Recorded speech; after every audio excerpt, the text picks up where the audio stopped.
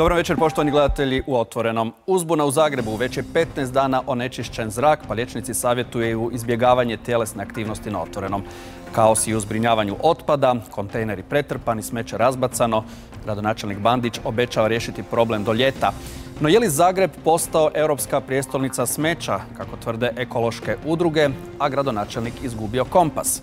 Zašto je najavio smanjenje cijene odvoza otpada, iako je nedavno donesena odluka o poskupljenju? Dok se građane poziva na recikliranje, postavlja se pitanje je li grad spreman za novi model gospodarenja otpadom. O svemu tome ćemo u večerašnjoj emisiji. Naši su gosti Sandra Šikić, zamjenica ravnatelja Nastavnog zavoda za javno zdravstvo dr. Andrija Štampar. Dobro večer. Vlado Brkić, predsjednik stručnog odbora za zaštitu okoliša, energetiku i vodno gospodarstvo HDZ-a Zagreba, ali i docent na Rudarsko-geološko-naftnom fakultetu u Zagrebu. Dobro večer. Dobro večer. Anka Mrak-Taritaš, zastupnica u Gradskoj skupštini stranke Glas. Dobro večer. Lijepi pozdrav, dobro večer. I Tomislav Tomašević, zastupnik u Zagrebačkoj gradskoj skupštini. Zagreb je naš. Dobro večer. Dobro večer. Naravno, u emisiju smo zvali predstavnike grada Zagreba, ali odlučili su da večeras neće poslati nikoga. Uvodni prilog pripremila je Margareta Jozinović. Posljednjih dana u Zagrebu se teže diše. Mjerne postaje u središtu grada bilježe vrlo lošu kvalitetu zraka, to jest onečišćenje lebdećim česticama. Ovo nije ništa što je van standardnih godišnjih gabarita. Jednostavno imate određen broj dana tijekom godine kada imamo maglu, imamo atmosferske prilike, odnosno meteorološke prilike takve da i ova zima i dakle i ogrivna sezona utječu na to da je količina odnosno koncentracija i PM2,5 odnosno PM10 čestica iznad graničnih vrijednosti. No na snazi su i dalje preporuke Zavoda za javno zdravstvo. Savjetuju izbjegavanje dugotrajnih aktivnosti na otvorenom, pogotovo uz prometnice. I gradonačelnik u svom stilu uvjerava da je sigurno diše punim plućima. Šta očekujete od mene da ja polovim te sve čestice? Vidite kako je lijepo, udahnite punim plućima. Prekrasno, ajmo svi zajedno. Dok je za neke građane ovo ozbiljan problem, drugi se ne opterećuju previše. Možda malo, ma koji prije. Mislim da ljudi izmišljaju. Da, osjeti se smraze, osjeti malo. Jasno da je to, na pluća sigurno da ide, jel tako? To je od uvijek to. Nije to sad zadnji val, to je val non stop. E, nije strah, što bude, bude. A šta možemo? Moramo izdržati. Onečišćenje zraka samo je jedan od problema glavnog grada. Zagreb se guši i u smeću.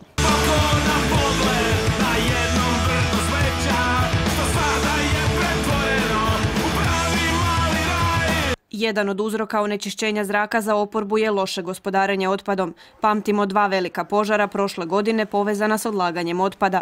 Gorjelo je i u reciklažnom dvorištu na Jakuševcu, na čiju se sanaciju kontinuirano upozorava. Znači ovi rokovi koje nudi gradonačelnik Bandić od 10-12 godina građanima e, Novog Zagreba nisu prihvatljivi. Znači Jakuševac treba riješiti u kraćem roku, za to moramo posložiti cijelu priču odlaganja i, i odvoza otpada na jedan drugačiji način, sortirati više. Mi želimo postati grad gdje će se odvajati otpad na razini 60% i reciklirati na, na razini 60% onoga što građani e, doma mogu sami odvojiti. Mi ovdje imamo više zagađivača, imamo i to planu za koju ne znamo kako ima filtere, imamo određene industrijske e, e, segmente tu dole u Tišinskoj i Gati koji nešto jesu neki proizvodni e, programi, imamo drobilicu koja je tu, imamo kompostanu koja je tu i to sve skupa jednostavno tome tu nije mjesto.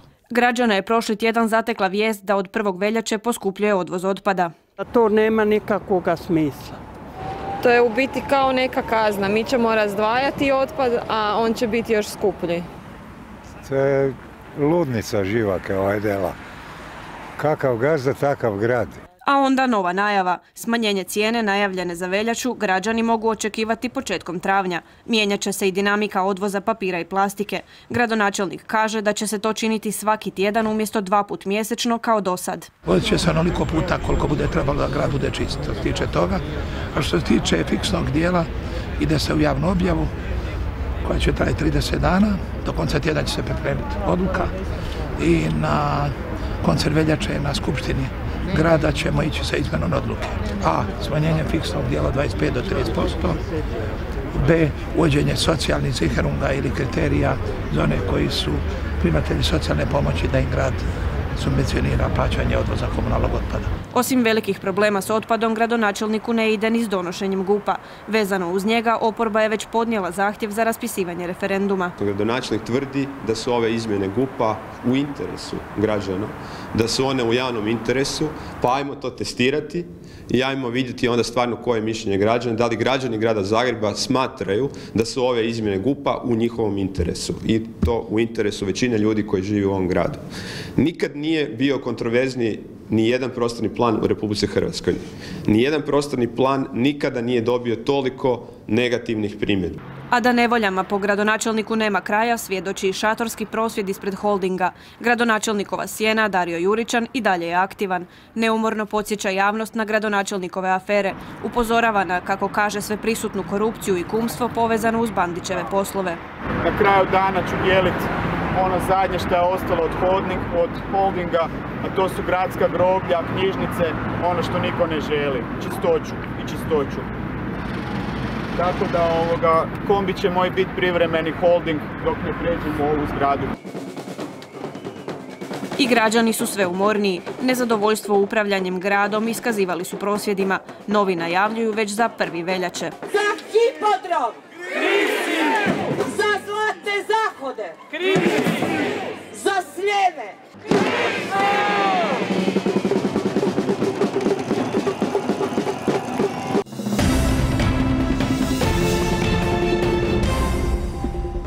Aktualnih tema u gradu Zagrebu. Zaista mi je žao što nitko iz grada danas nije u Otvorenom.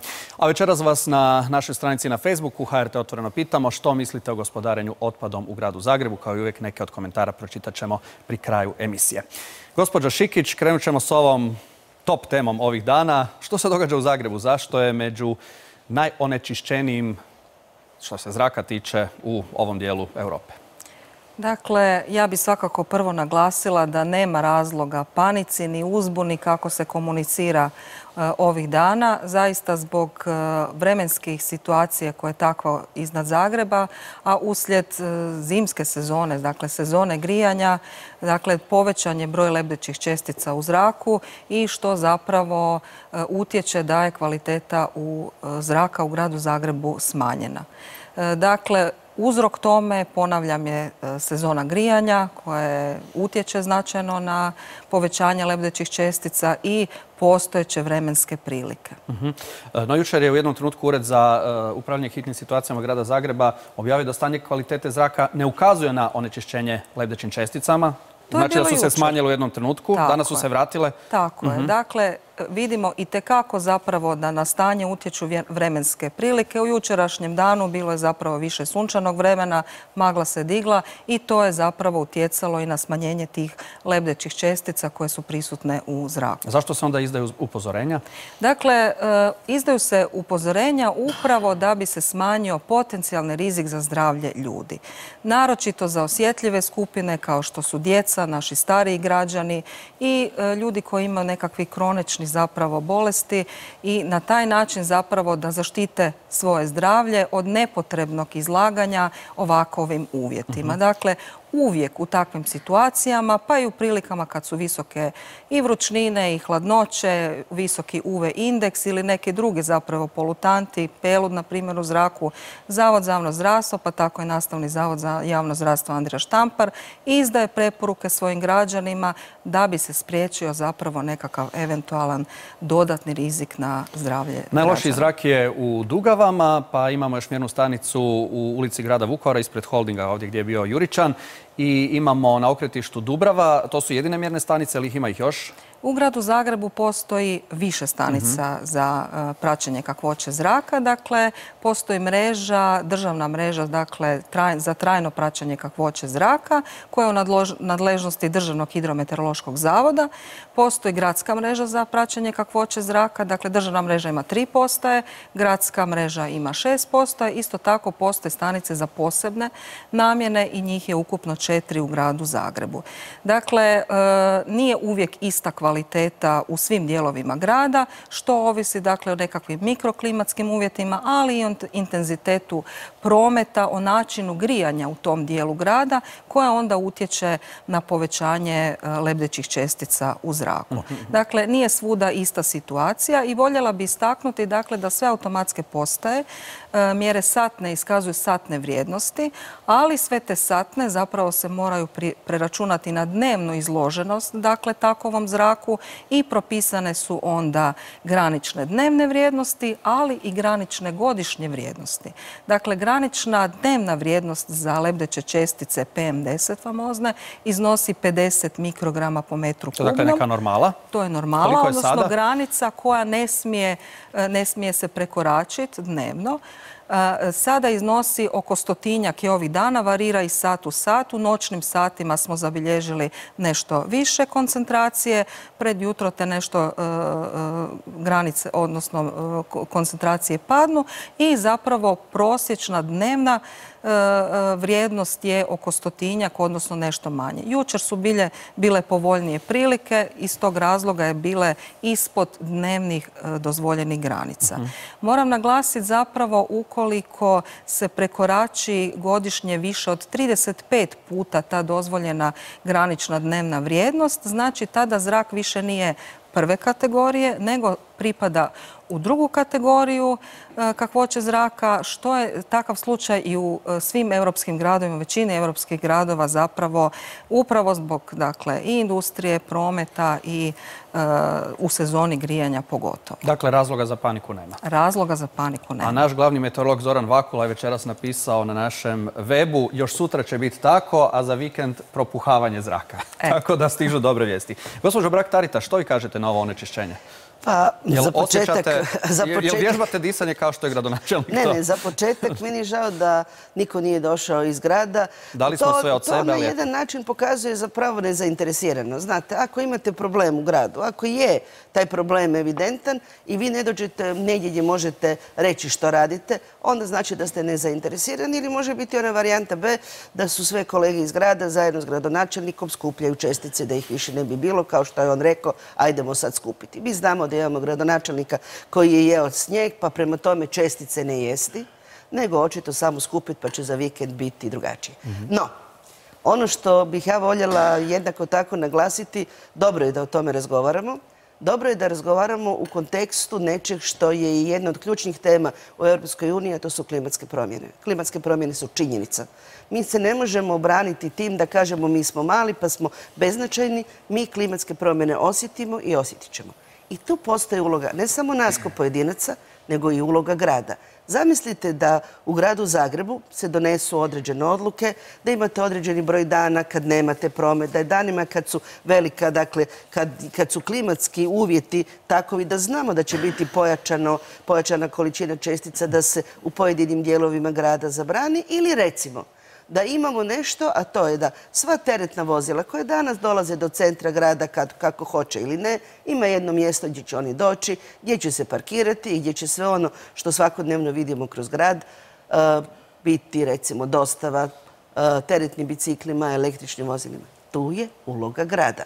Dakle, apsolutno ovo što je gospođa rekla, ja sam vrlo pažljivo slušala, već par dana slušate jer vas zanima što je.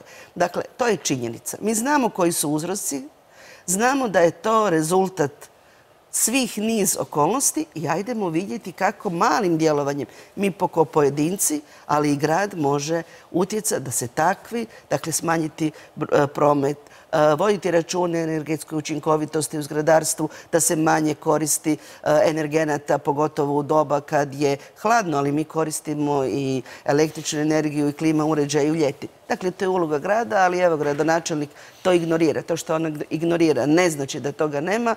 Prema tome se on je ovim nedolaskom su pokazali da ih zapravo, da im nije stalo. Gospodine Brkiću, što se tiče onečišćenja, kako dišete? Evo, ja mogu reći da jako dobro dišem u studiju Hrvatske radio televizije, a zaslugu, Nema zaslugu za to imaju i naši vaterpolisti i rukometaši, pa ja im čestitam. Dobro. Ako smo u gospodarenju otpadom iza naših prijatelja Austrijanaca, zato smo u rukometu ispred njih. Mhm, dobro. O gospodarenju otpadom ćemo u nastavku. Gospodine Tomašević, onečišćenje danas smo, evo čuli smo i u prilogu gospodina Marasa, kaže da je tu problem i Jakuševca. Pa je, je i, mogu reći da sam slušao i danas na Hrvatskom radiju emisiju na ovu istu temu mhm. i baš predstavnik Ministarstva zaštite okoliša je isto tako rekao da postoji, da je sigurno jedan od faktora uz promet, uz znači grijanje na kruta goriva, da je svakako i odlagalište na Jakuševcu. Osim toga i znamo da je bio požar, znamo i koje su tada bile vrijednosti, isto tako lebdećih čestica bile su čak tri puta veće nego što su sada ove povećane. I to, ono što ja mislim... Govorite o ovom ljetnom požaru koji je bio... Da, govorimo o ljetnom požaru, međutim mi stalno imamo, zapravo ono što treba govoriti da su trendovi sve loši i loši. Trendovi su sve loši i loši, nije to sad pitanje samo jednog dana, niti sata kad se gledaju određene koncentracije, nego trendovi, a trendovi su loši i mislim da je za početak je sramota da ovdje niko nije iz gradske uprave, znači od više od 2000 ljudi koji rade u gradskoj upravi koji su odgovorni za, sve zapravo što se dešava u gradu Zagrebu, da niko nije našao vremena da dođe. Ja ne znam da li su na nekim kolektivnim vježbama disanja sa gradonačelnikom ili koji je razlog za to. A s druge strane, ono što isto tako mislim da je loša šala, da je ta ista gradska uprava sa tim istim gradonačelnikom prijavila grad Zagreb za Europsku zelenu prijestolnicu. Znači ovaj grad sa ovim odlagalištem na Jakuševcu, koje se nije riješilo, koje se nije zatvorilo, a obećava se to već 15 godina, sa vodom koja curi iz cijevi, oko 50% vode iz, cijevi, iz curi iz gradskih cijevi, i sa ovako zagađenim zrakom, sa ovakvim kaosom u gospodarenju otpadom, taj grad je gradska uprava prijavila za najekološki grad u EU. Pa sretno im u tome i mislim da je to jedna loša šala, da je to ono što se kaže povreda, znači uvreda na, na, na povredu. Znači, M što se snižava kvaliteta života građanima grada Zagreba, a onda im se još i smije u lice tako da se prijavi grad Zagreb kao europska zelena prijestolnica. Gospođo Mrak-Taritaš, ima li šanse u toj kandidaturi? dakle, ajdemo biti realni. Vrlo jednostavno od problema sa disanjem mi dolazimo do problema, ja to više ne govorim otpad, iako bi puno radije govorile otpad nego smeće. Mhm. Pri tom ne morate vjerovati to što mi govorimo, dovoljno je kad ste dolazili u ovu emisiju, kad ste izašli iz svog stana, da dođete ovdje da pogledate kako grad izgleda. Dovoljno je da vidite da to sve zajedno ne funkcionira i gledati stvarne činjenice. Dakle, po uh, zbrinjavanju otpada, grad Zagreb je od svih glavnih gradova članica Europske unije na zadnjem mjestu. To je činjenica. Dakle, nije to nešto što sad vi izvučete iz nekakvog konteksta, to je činjenica. Ali ono što ja moram priznati da, neću reći da me deprimira, s jedne strane, zapravo sam tužna i nesretna imate prilike koje propustite. Grad Zagreb je imao vremena da se dobro pripremi za način na koji će se zbrinjavati otpad. Grad Zagreb je svoju priliku propustio. Dakle, u šta se pretvorio grad kad je riječ o otpadu? O kantama za smeće, iz kojih smeće ide van, koje se ne odvozi i nakon dugog niza godina, ja to ne pamtim kad je bio zadnji put, grad je počeo smrditi, smrditi po smeću, što je logično jer se ne odvozi. I onda gradonačelnik, zapravo ovo što on radi je licemjerje. Mi smo imali gradsku skupštinu koja je bila e, zadnja gradska skupština, odnosno predzadnja, da sad ne govorim, zadnja je bila tema Nogalo, ali predzadnja, gdje je tema bila ured, odnosno gradska odluka o načinu na koji će građani plaćati e, zbrinjavanje otpada, odnosno odvoz smeća. Grad Zagreb, dakle, E, gradonačelnik grada Zagreba zajedno sa svojim klubom i naravno sa kolegama iz HDZ-a koji su mu tamo koalicijski partneri i koji drže lojtre za sve ludosti, nisu nas htjeli slušati. Mi smo tad rekli, nemojte donositi odluku. Uredba na temelju kojeg ide ta odluka je na Ustavnom sudu. E, zajednica gradova je pokrenula ustavnost odluke. Pričekajte, vidite i onda donesite odluke. Nemojte posezati u džepove građana a da e, zapravo ne znamo, nema, nije to bilo potrebe. No, uobičajena metoda našeg gradonačelnika. To što smo mi govorili, govorili smo u vjetar, to se od zida odbija. E, naravno da je moć ruku i ta koalicija vrlo stabilna u gradskoj skupštini, oni su to izglasali. Da bih sad gradonačelnik njima svima rekao, to što ste vi radili, malo ste se šalili, evo mene, sad ću ja, povećao sam vam jedno dva ili tri puta, ali sad ću vam smanjiti 17 kuna. To je čisti populizam, licemjerje i ne znam kako to da nazovem. Gospodine Brkić, niste u Skupštini, ali ste u gradskom HDZ-u predsjednik stručnog odbora za zaštitu okoliša, energetiku i vodno gospodarstvo. Kako onda gledate na cijelu tu situaciju? Evo, gospođa Mrak-Taritaš je rekla Ma, evo, da meni je drago da djelujem unutar jedne stručne platforme koja se bavi zaštitom okoliša i energetikom praktički u gradu Zagrebu i da smo kao jedno tijelo koje se sastoji od eh, stranačkih i nestranačkih eksperata skupljeni, glave skupa i da praktički educiramo naše političare, prvenstveno se to odnosi na zastupnike u gradskoj skupštini, kako bi im predločili ne problem, znaju oni problem, nego mi praktički nudimo kao ekspertna skupina i rješenje. Ovdje se ne radi samo o educiranju političari. Ja nisam političar, prvenstveno sam ovoga profesor na fakultetu i ekspert i ovo radim zato što želim u ovom gradu boljitak. Međutim, moramo educirati i naše građane. Ovo što je gospođa Mrak Taritaš rekla je u pravu. Dolazeći sa ulicem Prisavlje na ovu Hrvat, našu hrvatsku radioteleviziju, vi vidite kontejnere, ne pune samo smećom, nego vidite kontejnere koje su raspoređeni neadekvatno. Znači, nema opće kriterija. Da li je to zeleni otok, da li je cesta, morate patiti u prometu.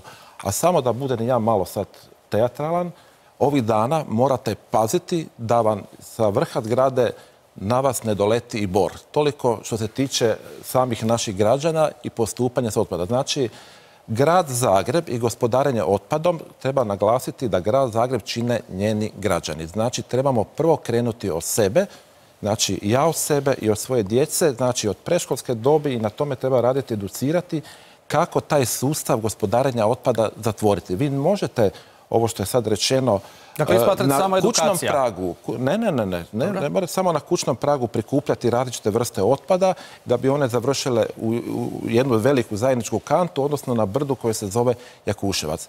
Mi smo u 21. stoljeću, tehnologije postoje, ekspertize postoje, studije postoje i ovo što grad Zagreb, moram stvarno reći, kasni, kasni, ja reći možda i preko 20 godina u odnosu na ove sve evropske metropole, ali mislim da i dalje e, e, nade ima. Gospodine Tomašević, pa Mrak-Taritaš, gospođa. Pa ja se ne bi složio sa gospodinom da trebamo poći, poći od sebe kao građani. Ja mislim da prvo treba početi od gradske vlasti koja treba uspostaviti infrastrukturu da građani mogu odvajati, da im se to isplati, da im je to lagano i da ih se na to na različite načine potiče, educira i informira. Međutim, ako, ako imate kaos koji kreće od glave, znači od gradske uprave, ako imate situaciju da ste promijenili koliko, šest direktora čistoće u šest godina, ako imate situaciju da ta čistoća kad najavi da će odvoziti određene frakcije otpada, to ne radi. Znači ne drži se svojih dogovora. Ako imate prenatrpane kontejnere na zelenim otocima jer se ne odvoze dovoljno redovito, pa naravno da onda šta građani rade, nego isto tako kažu pa evo, kaos je u gradu, pa onda šta ću ja onda, kako da se ja borim protiv tog kaosa? Znači, ako, ako je sustav takav, kaotičan, onda kako možemo od građana očekivati da odvajaju? S druge strane, znači mi smo prije dvije godine uz protivljenje oporbe. Gradska skupština je usvojila tu odluku o a, novoj usluzi prikupljanja otpada. Dvije godine je prošlo, a da još ni ta odluka nije provedena. Znači neki ni dan danas još nisu dobili ni te smeđe i žute vrećice. Ja sam dobila prije tri dana. Prije tri dana, ok. Ali znači, odmah ste počeli reciklirati. Objavili ste na Dakle, ja, Twitteru. ja to inače radim. Dakle, ja to inače radim zato što mislim da to treba raditi i, i apsolutno želim svojim malim tim dijelićem doprinijeti ono što sam i uvodno rekla, problemu klimatskih promjena. No ono što vas deprimira, dakle vi to možete raditi. Uh, ja danas pokušavam, pet put sam zvala sve službe da doznam kad u mom kvartu odvoze žute vrećice. Ja živim u kvartu u kojem su mi dva zelena otoka, jedan mi je na 50 metara, drugi na 100. Ja uzmem staklene boce, probam ih, staklene boce, dakle, ne ovaj, ovaj papir i sve ovo, probam ih baciti u kontejner koji je namijenjen za to punje. Nikad neću ostaviti uz kontejner jer ne mogu, to ne mogu zbog sebe. Odem do drugog zelenog otoka i onda se vratim doma sa tim istim bocama i ih nemam gdje ostaviti jer su kontejneri prepuni. Dakle, tu imate nekoliko stvari. Ja sam apsolutno sigurna da nema nikog ko će ostaviti neki neprimjerenu vrećicu sa svojim smećem ako je sve posloženo i sve funkcionira. Razlog, nema razlog zašto da ne funkcionira. Imate primjera brdo gradova u Hrvatskoj kome je- u kojima je to tako. Ja se mogu složiti da u gradu Zagrebu je drugačiji model tamo gdje su obiteljske kuće, drugačiji model mora biti tamo gdje su više stambene kuće, drugačiji model je tamo gdje u donjem gradu, u gornjem gradu. Ali postoji samo jedan jedini model koji je na snazi. Da će građani više plaćati za manju uslugu. I onda dolazimo do onog što govorimo. Ja mislim da je ovdje u prilogu neko rekao, zašto da ja odvajam? Pa ja ću više plaćati, a neću odvajati. Mi smo izračunali e, i našalili smo se i rekli smo mi ćemo za rad gradske čistoće svako od nas četiri sata dnevno odvajati da bi gradska čistoća mogla raditi svoj posao. Ali ono što je uloga grada, grad mora složiti infrastrukturu. Dakle, ova pretrpanost kantama, Niste napravili ništa.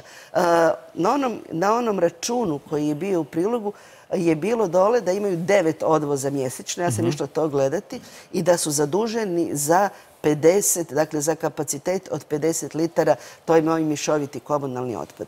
U mom, ja, moj suprug i ja sami živimo. Mi po- e, nakon što sve to odvojimo, što odvojimo, što sve napravimo, mi mješovitog komunalnog otpada na razini mjesec dana nemamo više od 20 litara.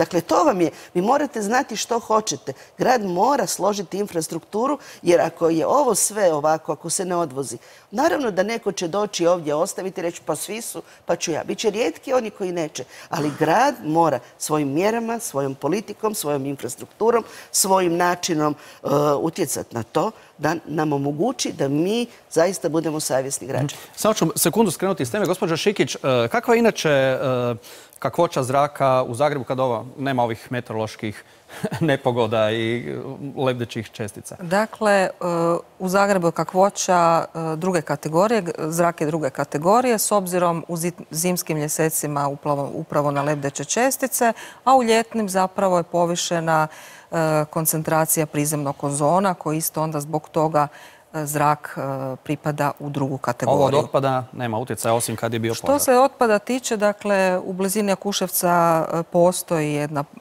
Mjerna mjerna stanica. stanica koja baš služi zapravo za praćenje tih odlagališnim, odlagališnih e, plinova. To su uglavnom amonijak, merkaptani, odnosno sumporovodik koji su zapravo za očekivati u blizinu e, odlagališta otpada. Dobro.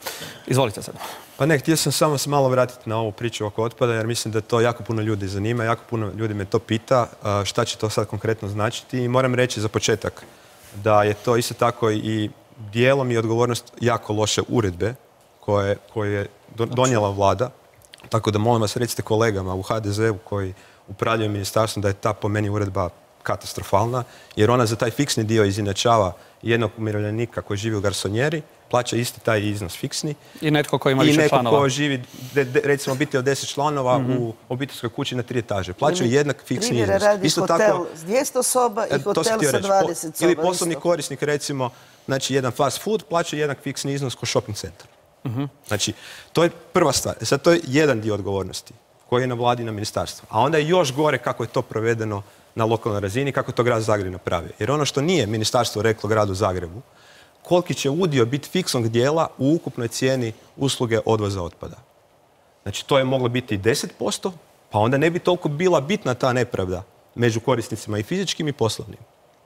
A mogle, nažalost, je može biti ovoliko koliko je sada. A to je otprilike 50-60%, sad ćemo vidjeti kad se smanji taj fiksni iznos. Znači, znači svima se, znači ono što je nepravda osnovna, svima se posku- svima poskupljuje usluga, a pogoršava se kvaliteta te usluge.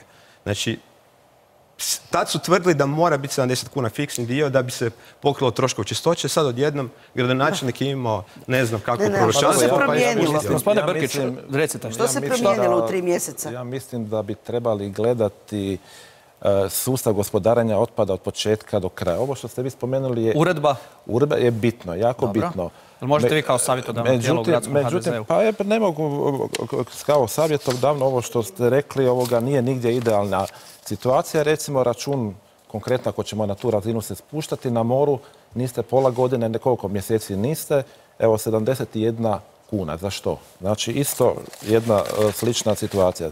Znači sustav se mora gledati cjelovito. Mi možemo odvojiti pitanje gdje taj otpad završava. Gdje otpad završava? Znači imate prikupljanje otpada, sakupljanje transport, odvajaju se ove komponente koje se mogu prodati kao što je staklo, imamo problema sada sa plastikom, znamo sa papirom i tako dalje. Što dalje sa tim otpadom? Da li će taj otpad biti ovako na Jakuševcu, da li će se Jakuševac dalje pu- puniti ili neće? Ma mislim, ali sve to na razini teorije u redu. Dakle, mi smo već Nije, to je prošli... praksa, nije samo teorija, to je Dakle, praksa. U nekim gradovima je. Idemo u gradu, Beč. Dakle, Odite do Beča. zaboravi, ne moramo ići u Beč. Već ima Vi i ja smo na ula, prije ove emisije govorili o tome da ljetujemo u istom gradu. U kojem to funkcionira. Dijelom, dijelom, da. Tako, tako svejedno. Ali, dakle, u ljetu ste vi na ist, u istom gradu u kojem Da. sam ja. Ja mogu reći koji je gradu je riječ, o Novom Vinodolskom. U kojem to funkcionira.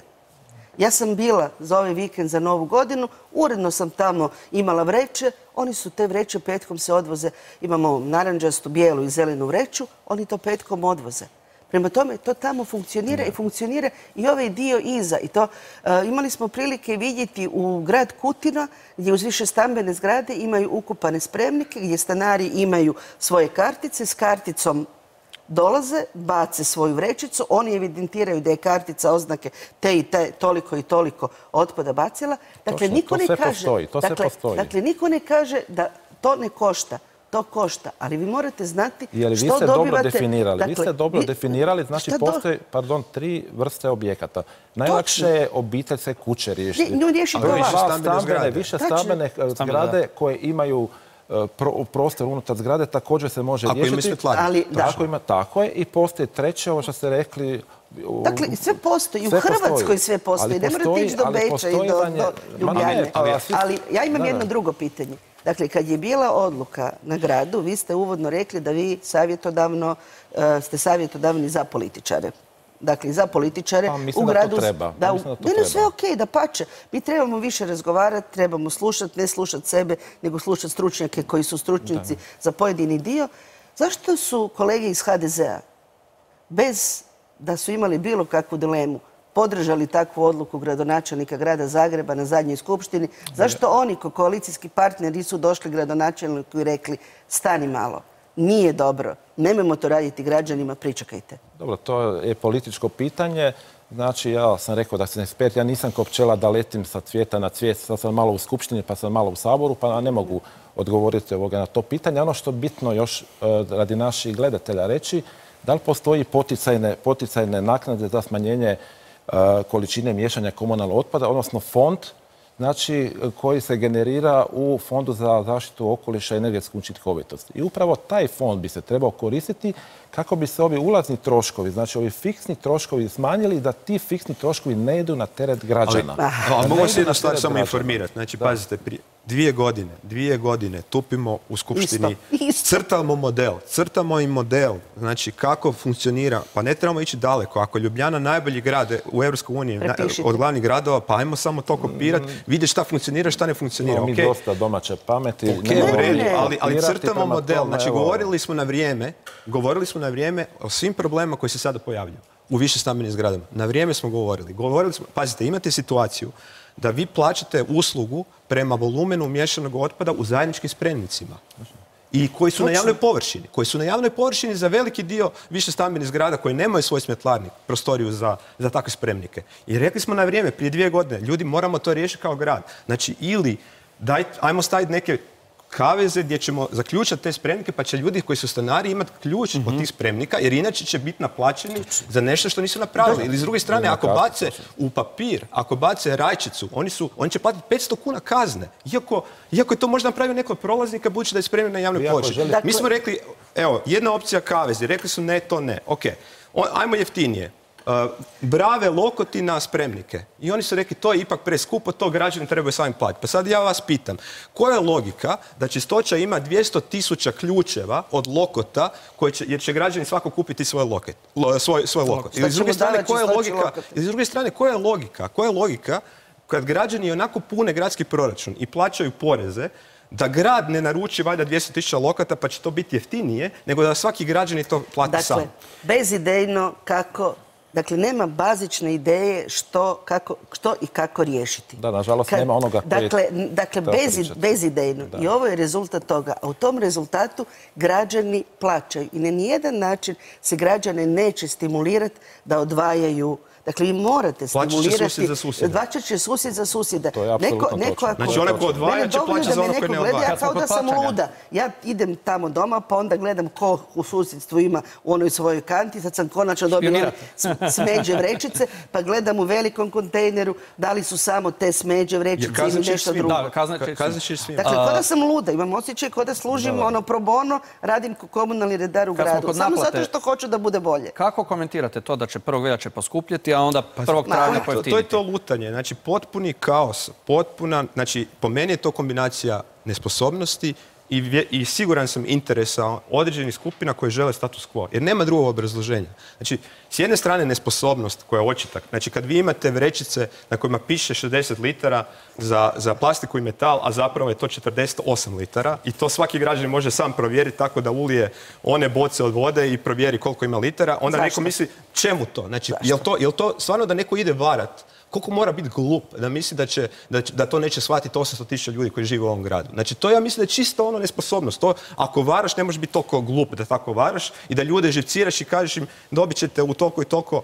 mjeseci svoje vrećice koje su od 60 litara na kraju nisu nego su 50. A one od 30 za bio otpad smeđe nisu od 30 nego su od 20 i nešto. I onda ne znate kad te recimo, tu sam, tu sam na nekim, nekim vidjela one žute vrećice koje su onako pobacane svud. Vi ne znate kad vam u kvartu odvoze te žute vrećice. Ili oni koji znaju ta- kad iznesu van ne Ja mislim da odvoze. je to, to pitanje za vas u gradskoj skupštini i za Ne, ne, onoga... ne. Ne, ali Dakle, reći da postoje modeli, postoje rješenja, ali, Dakle, ali dvije Gradonačelnik godine... da će se češće odvoziti Ma, ali 1. što znači češće? Da barem znamo jedanput kad će se odvoziti pa da se zaista tad Ne, odvozi. totalno lutanje i Dakle, kaos. bezidejnost, Jel imate lutanje, modele kaos. konačnog odlaganja otpada? Da li imate...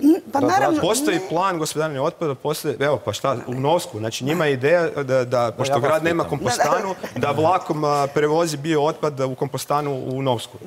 Gdje će Dakle- biti kompostana zajednička od a, Dakle, Novske i grada Zagreba. tu Evo, to je nekoliko, model. nekoliko model? slojeva. Prvi sloj je doma na kućnom pragu da ste dovoljno educirani da odvajate, da to odvajate najbolje moguće. Znači treba se educirati, ili tako? Dakle, ja, se to, ja to uopće nemam nikakve dileme. Dakle, djeca u vrtiću se odlično educiraju. Točno. I znate što onda završe? Onda to sve što oni tamo ti dje- djecu educirate, onda to završi u jednoj vrećici. To djeca je vide. tragično, to je tragično. To- dakle, to je prvi korak. Drugi korak je da gradovi su dužni osigurati infrastrukturu koja funkcionira i da građani zaista kažu ok, plaćam toliko, ali znam za što plaćam. I treća stvar, što s tim otpadom raditi. Mi sad imamo 1500 raspisan... kuna košta, ton, košta tona a, zapravo bio otpada. Dakle, i sad mi vi... plaćamo, znači ovo što građani odvoje, mi plaćamo privatniku da uzme taj Što je sve naopako. Sve je naopako. Dakle, građani odvajaju da bi onda privatnik zaradio. Niko nema ništa protiv da se zarađuje, ali da znamo zašto, zbog čega i kako. I ono što je ključno pitanje, kako će Zagreb bazično riješiti svoj otpad? Nema odgovora. E, idemo pogledati što naši gledatelji pišu na Facebooku. Prije toga, gospođo Šikić, samo kad ovo slušate kao građanka Zagreba, kakva su vaša iskustva sa Pa evo, ja se, ja se slažem da zapravo sve kreće od nas, da mi moramo isto tako kao građani odgovorni sudjelovati odvajanju, recikliranju, a evo zaista nadležne institucije dalje bi trebale riješiti ovaj daljnji problem krajnjeg odlaganja. Što mislite o gospodarenju otpadom u gradu Zagrebu? To smo vas pitali na našoj stranici na Facebooku. Pogledajmo neke od komentara pa ćemo ih eventualno prokomentirati. Vlatka Pulje Radilović, katastrofa. Grad Zagreb nikada nije bio prljaviji.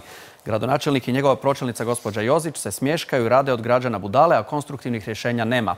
Jedina konstantna je dizanje cijena komunalnih naknada. Strašno. Lovorka Šošić, odavno zelena akcija upozorava da je Zagreb europska prijestolnica smeća. Jakša Tomić, žalosno, na otpadu u Zagrebu pojedinci se bogate dok se narod truje. Boris Sotošek, nije teško odvajati otpad. Najviše je plastike. Građani ne stvaraju otpad, već ga kupuju u supermarketima. Sanacija otpada treba ići i na račun trgovačkih centara. Zabraniti plastične vrećice i ne kupovati robu pakiranu u plastičnu ambalažu. Cirkularna ekonomija je unosni posao na račun građana. Rudica Maraković, odvajanje otpada počinje u kućanstvima, uči se u školama. Nažalost, grad je postao prevelik za infrastrukturu koju ima. Premalo je novca za plaćanje radnika koji s obzirom na primanja koje imaju neodgovorno obavljaju svoj posao. Naravno da ima radnika koji se neizmjerno trude očistiti ovaj grad i treba ih pozdraviti i poštovati. Ljiljana Babok, u Zagrebu se otpadom gospodari vrlo pametno, jednostavno se sve prepusti slučaju i požaru. Zvijezdana Klenović-Brlić, Cijeli život živim u blizini Jakuševca, problem otpada i nečistog zraka oduvijek je prisutan. Treba se zapitati kakvu vodu pijemo, budući da do potrošača prolazi ti, da do potrošača prolazi tik u smetlište. Ja sam se nažalost navikla na takav život, ali ne želim da moje dijete mora živjeti sa svim prisutnim zagađivačima. Ante Perić, pravo pitanje glasi što mislite o gospodarenju otpadom u Hrvatskoj? Regionalni centar Lečevica za Dalmaciju se čeka 10 godina i tko zna kada će biti, a problemi s odlaganjem otpada su već odavno kulminirali. To je to. Vaši komentari? Točno, pazite, građani vide, žive. E, samo kad se vratite malo u povijest, recimo pred 15 godina mi smo svi doma imali one vrećice sa smećem i navečer smo te vrećice stavljali van. Točno se znalo u kojem kvartu kad čistoća odvozi, stavljali bi van. Čistoća je to odvezla, ujutro niste imali ništa i ulice su se prale. Dakle, mi smo to imali. Umjesto da, da na tome idemo korak dalje, da vodimo o svemu računa, mi danas u gradu Zagrebu, grad Zagreb smrdi po smeću i imamo kaos. To građani prepoznaju, to su vam Dakle, ne trebate, ne govorim vam ja nešto što vi ne vidite. Dovoljno danas kad ćete se vraćati kući, samo pogledajte što se dešava u vašem kvartu.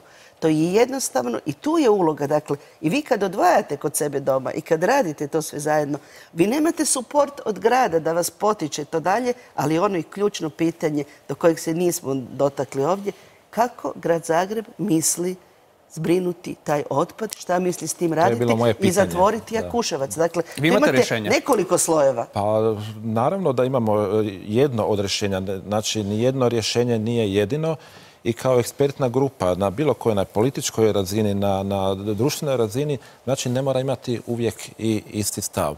Znači, mi smo predlagali i, i postoji čak i, i model i naziv e, sistema tu sam zajedno sa kolegom ovoga Mustapićem razradio plaksa sustav, znači plati onoliko koliko odložiš. Ali na način, ovo što je gospođa Mrak-Taritaš rekla, ono najbitnije pitanje gdje će taj preostali neobrađeni otpad završiti. Mhm. Postoji toplana, blizu postoji, mi smo ga nazvali javno, javno partnerstvo, ne javno privatno. Javno javno znači grad Zagreb, HEP i HEP koja je javna kompanija. Prema tome, vrlo dobro znate. Znam sve, dakle, sve znate, prema modeli... modeli postoje, evo.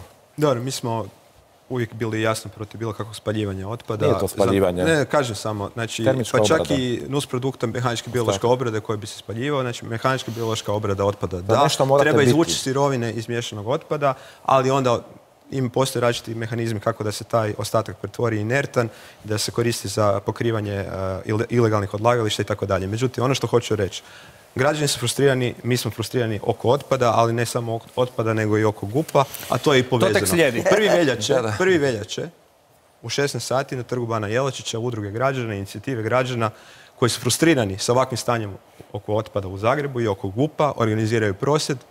Svi građani, ja znam da ću ja biti tamo, pozivam i sve druge građane da dođu, jer on, posebice građane Novog Zagreba, jer dok se gupom daje najveća zelena površina u Novom Zagrebu investitorima iz Dubaja za gradnju luksuznih stanova. Ono što građanima Novog Zagreba ostaje odlagalište koje smrdi jednu trećinu dana u godišnje. Po svim uh Gup je šestog veljače. Dakle, gup je, šestog veljače, ali je dosta zanimljiv i te gup možemo i vezati ono što je u gupu na sam početak i koji je bio loš zrak u Zagrebu.